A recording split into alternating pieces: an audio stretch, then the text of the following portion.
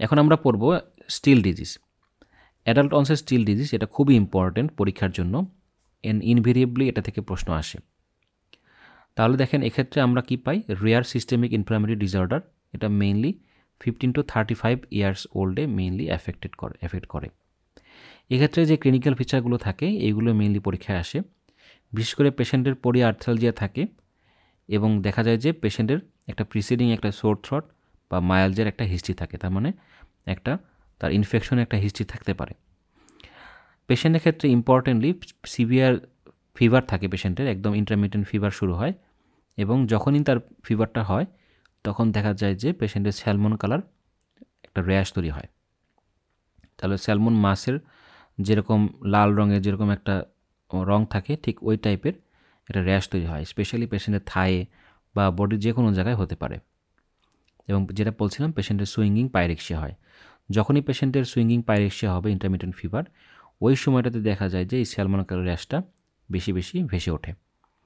এবং পেশেন্টের অন্যান্য সেরোসাইটিস হতে পারে, যেমন pleurisy with pleuritic chest pain pericardial rub এগুলো হতে পারে। আর এই ধরনের পেশেন্টের ক্ষেত্রে লিম্ফারোনোপ্যাথি অ্যান্ড ইম্পর্টেন্টলি হেপাটোস্পিনোমেগালি পেতে পারি আমরা। Total leukocyte count platelet count এবং অন্যান্য যে অ্যাকুট ফেস প্রোটিন তার মধ্যে ESR CRP and most importantly ferritin level অনেক বাড়ে। তাহলে এই ধরনের পেশেন্টের ক্ষেত্রে ফেরিটিন লেভেলটা অনেক বেশি বাড়ে। আমাদের ওয়ার্ডে আমি যখন ডিএমসিতে ট্রেনিং ছিলাম, আমাদের ওয়ার্ডে একটা রোগী ভর্তি ছিল অ্যাটাল অনসিস্টিল ডিজিজের তার ফেরিটিন লেভেল ছিল প্রায় বিশ হাজারের মতো। এরপর আরেকটা কেস পেলাম, তার ফেরিটিন লেভেল ছিল প্রায় পঁচিশ হাজারের মতো। তাহলে দেখেন অ্যাকুট ফেস রিয়াক্টেন্ট হিসেবে এখানে ফেরিটিন লেভেলটা অনেক বেশি বেড়ে যায়। এক্ষেত্রে আমাদের rheumatoid factor ANA anti dsDNA সব নেগেটিভ পাই আমরা।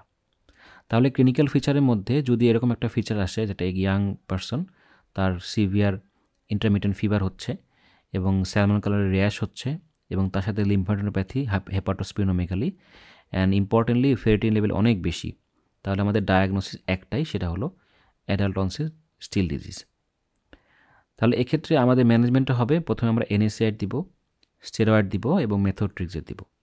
সাথে আমরা ইন্টারলোকিন ওয়ান বা অথবা অ্যান্টিটিএনএফ থেরাপি দিতে পারি। দেখেন এখানে আমরা কিছু ছবি দিয়েছি। এগুলো হচ্ছে স্যালমন র্যাশ তাহলে যখনই তার সুইঙ্গিং ইন্টারমিডিয়েন্ট ফিভার হবে, তখন এই ধরনের র্যাশগুলো আমরা পাবো। সাথে পলিআর্থ্রালজিয়া হেপাটোস্পিনোমেগালি লিভারনোপ্যাথি